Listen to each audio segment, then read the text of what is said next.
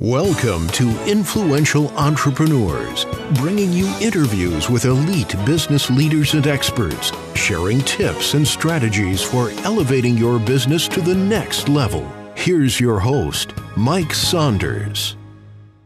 Hello and welcome to this episode of Influential Entrepreneurs. This is Mike Saunders, the Authority Positioning Coach, and today we have with us Dr. Amar Setty, who is the co-founder of Patient Premier.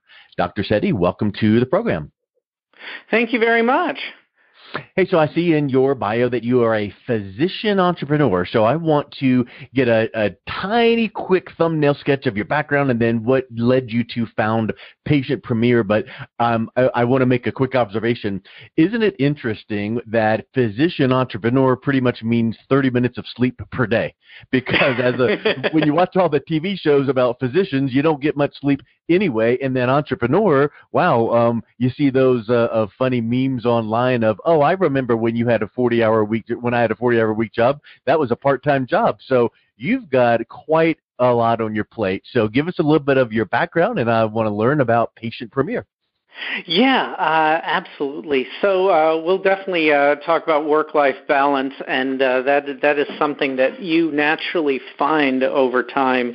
Even working uh, a full-time job and building a company, you can find that balance, and that that's part of what I think is so rewarding about entrepreneurship is finding challenges and that excitement of finding solutions to challenges is uh, is what really drives people. So my own personal story, I think, uh, uh, started uh, in this context when I finished uh, residency at Johns Hopkins, and I went into practice and uh, in the course of my work uh, as an anesthesiologist uh, and doing a lot of work in uh, pain medicine as well, I uh, also branched out into advocacy. I was president of the Maryland Society of Anesthesia. I did a lot of regulatory work. I was on the Prescription Drug Monitoring Program Advisory Board. So I saw multiple different levels of where uh, issues lie, where there are opportunities and challenges.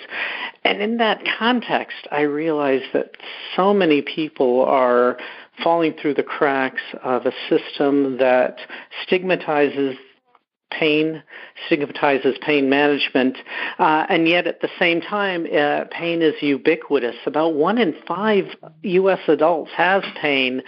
Um, that's over 50 million people. Uh, about 17% of Americans got at least one opioid prescription uh, in in 2017, for example.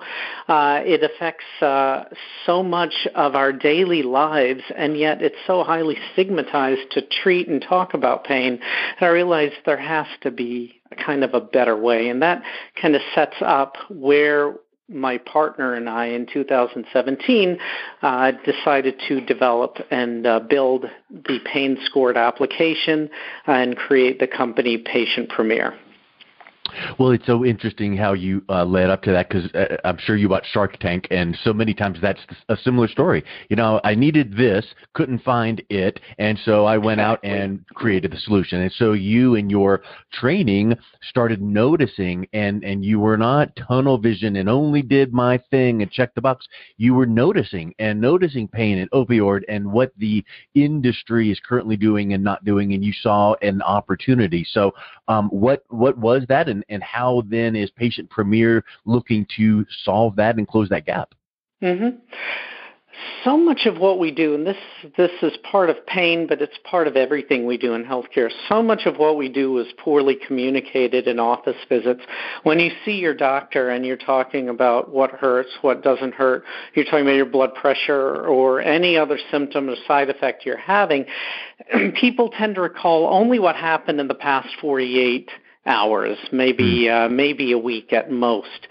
Have a terrible time remembering everything that happened in the three months building up to that appointment. How active were they? What things happened? What affected, uh, you know, their ability to get up and get around and do what they need to to have a quality of life? Did the medicines help them, or did they not help them? Did they have side effects of those medications? When we see our doctor, we only have a few minutes. How do you communicate all that information in a short period of time? It becomes extremely difficult.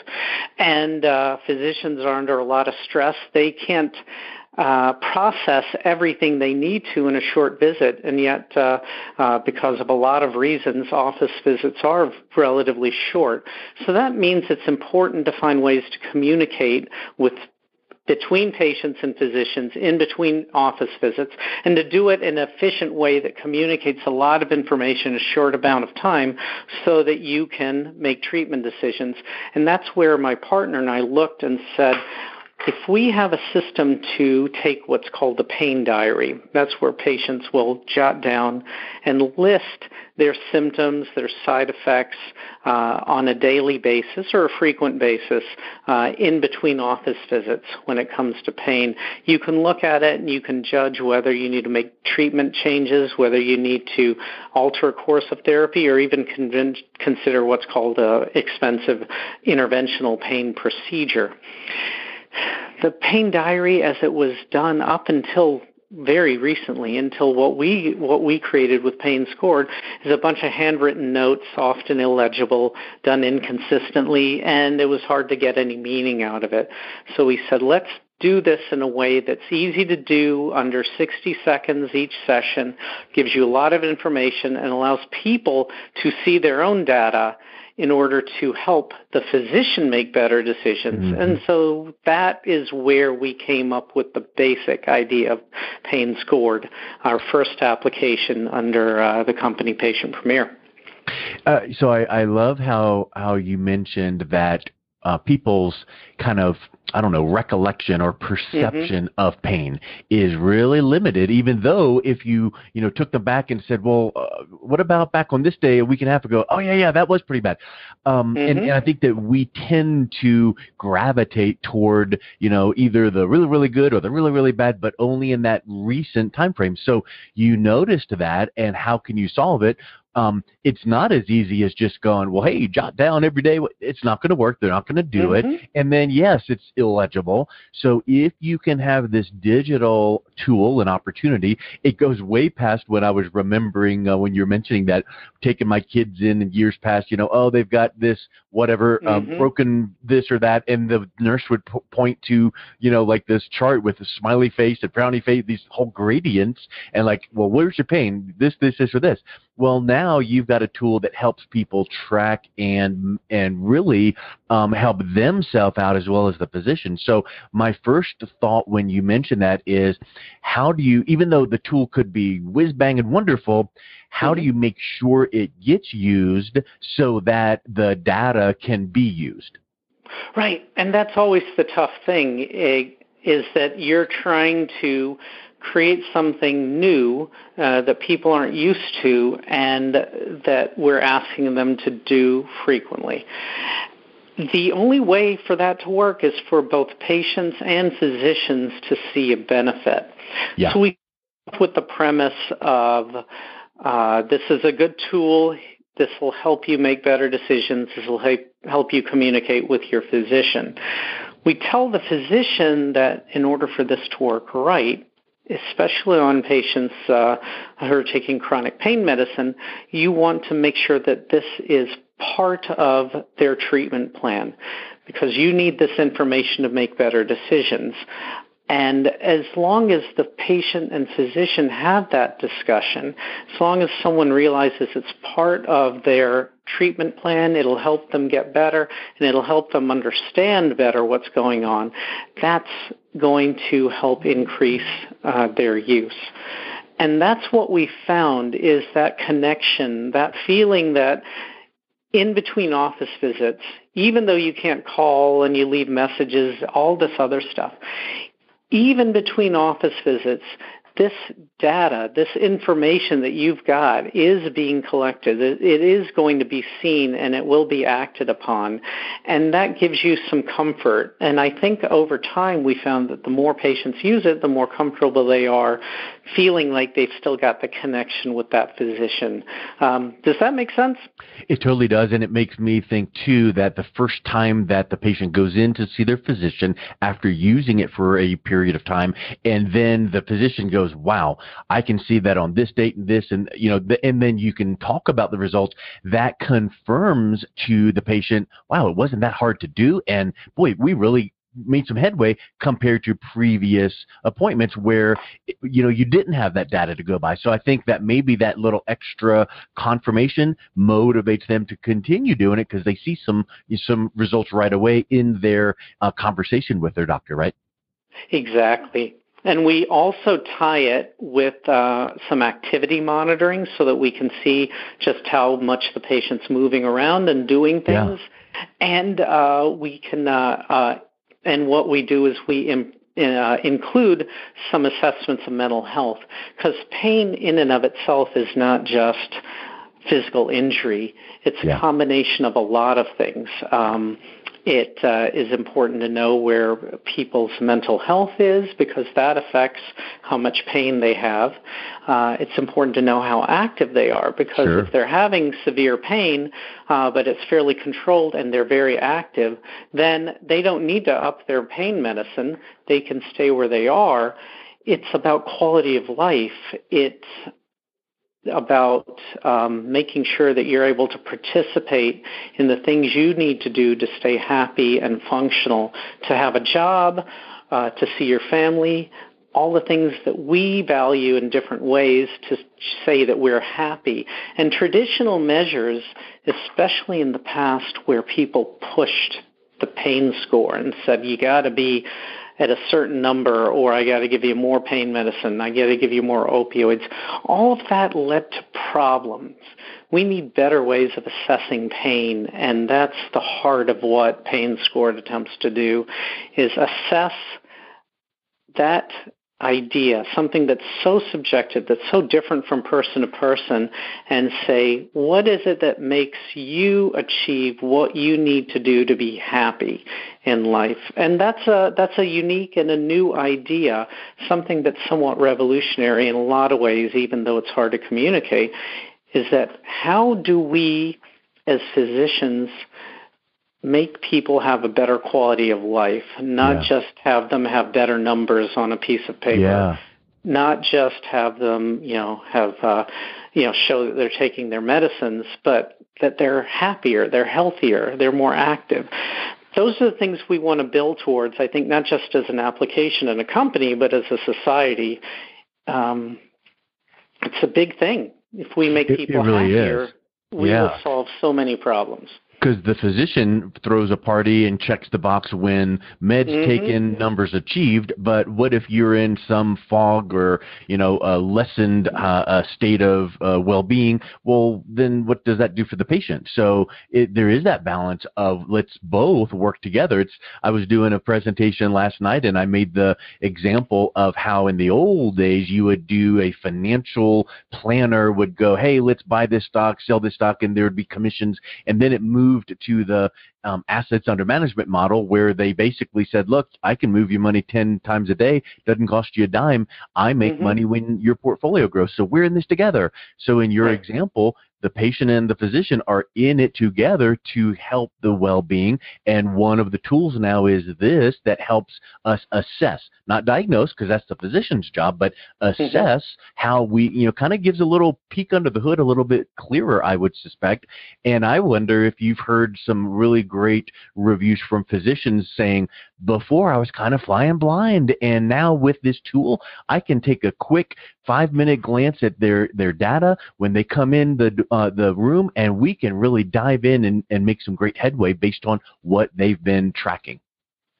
Yeah, exactly. Um, what uh, what we've um, heard from a couple of users, uh, one one said uh, Pain Scored helped our care team take care of more patients with less resources we can see the benefit and harm of therapy, and we feel like this is the future of uh, of um, of medicine. And then uh, in this particular case, reimbursement or payments for uh, for these kind of remote services, especially now in a time of physical isolation, have been so critical. And uh, our solutions actually help some people maintain uh, income um, despite uh, the inability to bring patients into the office. And so the combination of telemedicine and what we do, which is remote care, it's been phenomenal uh, for some people. So, yeah, that's a really good point, which is you're serving two people, patients mm-hmm. and physicians, right? Exactly. So talk a little bit about that balance because it's not like you sell a widget to the end user and they say thank you, this is wonderful. You you're balancing the features and benefits mm-hmm. with two target audiences. That's one of the very unique things about medicine in this country is any solution developed uh, for patients has a dual customer in, in a lot of ways three customers you have the patient who's the end user but doesn't pay for the service. You have the physician who is a uh, prescriber of the service who uses the service but doesn't actually pay for it. And then you have the insurer that does pay for it. Uh, and you've got to strike a balance between all three customers. Um, the patient has to get benefit out of it uh, and feel like it's helping them. The physician also has to benefit from it.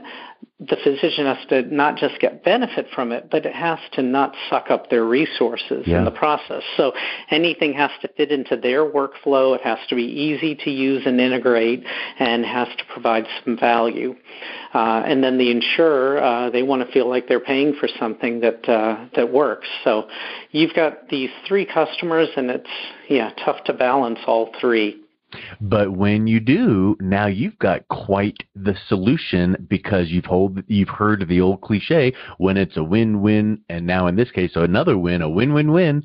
Boy, mm-hmm. everybody is benefiting, and then you are sitting back from the outside going, okay, let me listen to my three uh, uh, pillars now. How can we improve? What can we do? What are some things that we can polish or, or um, you know, add to? Or is this feature something that you're not using? So I think that that just helps for you guys to create more of the momentum. Um, and and I just I just love when you see it's it's more than just end user only. There are many facets of of receiving and recognizing the value. Mm-hmm so, what would you say the right. mission of your company is? It's all based on pain, but there now are some nuances we've touched on, which is patient focused, physician focused. What would you say the mission of your company is, and then what is your, you know, kind of a, a strategy to move the company toward achieving that? Yeah, uh, so uh, I love that. Uh, I'll just read you my mission statement. It's a bit of a word salad, but we'll unpack it. creating lifestyle compatible mobile applications and services that improve care, coordination, and education while also enhancing provider efficiency. So, underlying that are two types of empowerment one for the patient and the second for the provider. You made an uh, analogy earlier to financial services, and I'm going to extend that a little bit right here when it comes to patients. Um, as consumers in financial services, uh, uh it was a black box for, for many years until the early 2000s when the internet democratized uh, access to information. It also made it easier for consumers to do financial transactions. You didn't have to, you know, call in your broker uh, and pay higher fees. You didn't have to call up some dial-up service like it was when I uh, started trading uh, and enter your um, your stock trades via those uh, alphanumeric keypads. Uh, it, uh, you know, we've come a long way since then, and so it's that combination of the right technology platform and the right ability to access information. So by empowering patients with technology, it doesn't just mean you throw something in their lap. You have to give them resources around it to educate them, to make it easy to use, uh, and even in some cases to make it fun.